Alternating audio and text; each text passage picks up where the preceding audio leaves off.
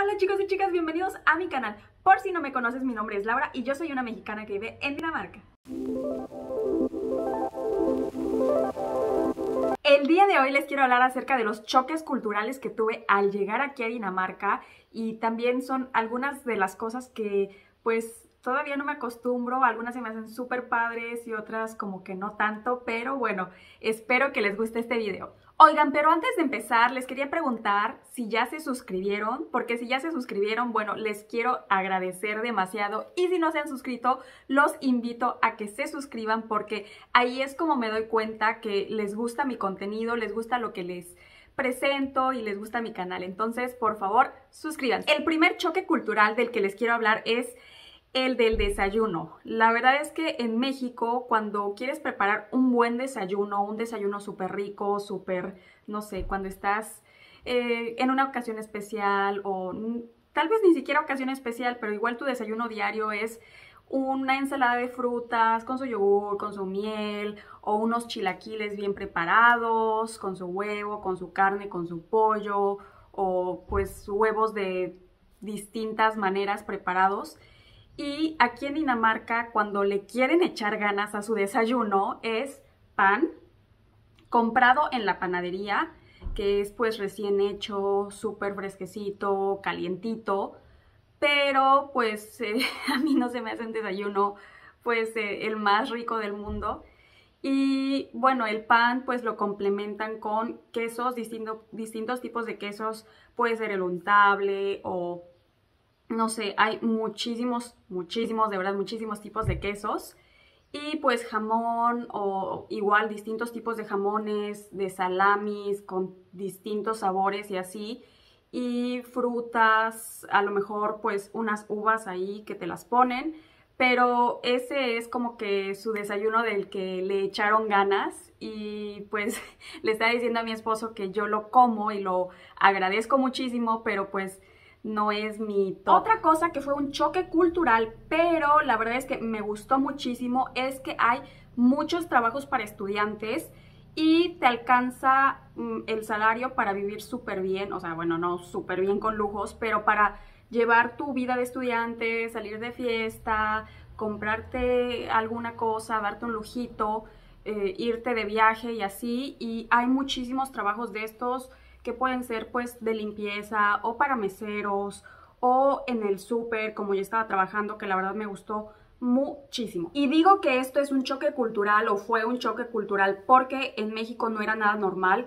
En mi época de estudiante yo quería trabajar mientras estudiaba para pues darme mis lujitos y así, pero como que no había muchos trabajos, la verdad es que yo tuve muchísima suerte para entrar a trabajar a un despacho de abogados mientras estaba estudiando y pues me pagaban más o menos, o sea, como le pagarían a un estudiante en México y me gustó mucho, pero como les digo aquí, sí te alcanza bien para todo, para pagar tu renta, para tu eh, luz, aparte de que te dan este, pues este, ¿cómo se llama? Este apoyo cuando estudias. Entonces, la verdad me gustó muchísimo esta, eh, o bueno, este concepto de tener trabajos para estudiantes. El tercer choque cultural fue que em, aquí en Dinamarca puedes comprar alcohol con 16 años.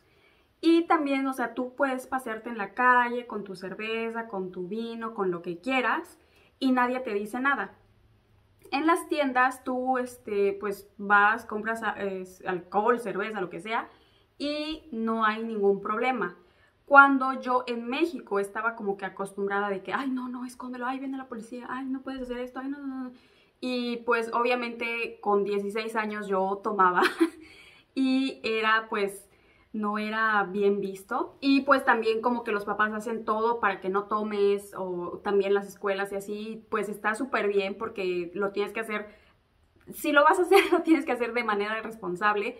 Pero esta como libertad que dan aquí me gusta muchísimo porque pues, o sea, es algo que los adolescentes hacen y es peor que te lo prohíban. Y esto me lleva al cuarto choque cultural que es, no sé si a ustedes también les vaya, a sorprender, pero es que aquí en Dinamarca hacen Friday Bar, que es pues eh, después de la escuela normalmente la gente sale de trabajar o, de la escuela más temprano, pero pues es para hacer una fiesta de viernes. Entonces en esta fiesta hay como que alcohol ilimitado o juegos y así, entonces esto es súper normal desde los eh, bachilleratos o preparatorias, que más o menos uno tiene pues 16, 17, 18, y también en los trabajos, que después de trabajar, no sé, si sales a las 3, 3 y media, ahí está esperándote el Friday Bar, y está súper padre también porque conoces a tus eh, colegas de otra forma, pero pues es en el mismo lugar de trabajo. Y el Friday Bar en las escuelas es también del, en el mismo lugar de estudios. Ahí tienen como que un saloncito de fiestas, o sea, un mini saloncito de fiestas. Y también a mí me tocó eh, fiestas de bienvenida en, en la escuela, pero también los Friday Bars aquí en Dinamarca, que como les digo es cada semana. Entonces, si tú quieres estar cada, cada semana de borracho, puedes estarlo.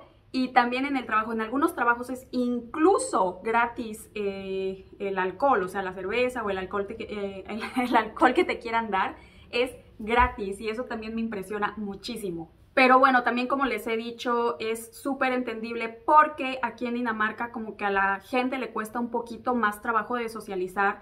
Entonces, como que por eso yo creo que hacen esto de, de los Friday Bars para para que la gente socialice y no se queden ahí todos sin amigos y sin motivación en la escuela o en el trabajo. El quinto choque cultural es que ahorita cuando hace sol, toda la gente se va o a la playa o a los parques. Y ahí en la playa o en los parques, pues o están en traje de baño o se quitan todo para pues para tomar el sol y para que no estén las marcas del traje de baño, pero pues, o sea, no sé, en México nadie haría esto de que, ay, estoy en el parque, hace sol y me voy a ir con mi traje de baño. O me voy a quitar el, este, el top de arriba para que no me queden marcas mientras me asoleo.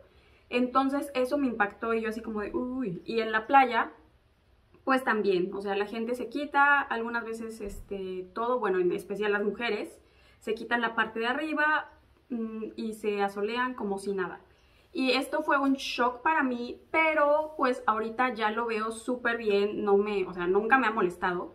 Pero eh, antes como que me causaba un poco de, no sé, alarma de que, ay, está enseñando todo. y como un poco de preocupación, ¿no? Pero pues es más por mis vivencias en México de que, o sea, nada más de que estés con una blusita de tirantes, ya te ganaste mil, este, que te digan de mil cosas en la calle o en cualquier lugar y por eso yo tenía esto, pero ahorita yo lo veo súper, súper bien porque, o sea, el cuerpo humano es lo más natural. La verdad es que me gusta muchísimo cómo la gente maneja esta situación de que, o sea, no es de que lo quieran ver con morbo, así es. Bueno, chicos y chicas, espero que les haya gustado muchísimo este video. Ya les recordé al principio que se suscriban, pero si no lo han hecho, vayan a suscribirse y nos vemos en el siguiente video. ¡Adiós!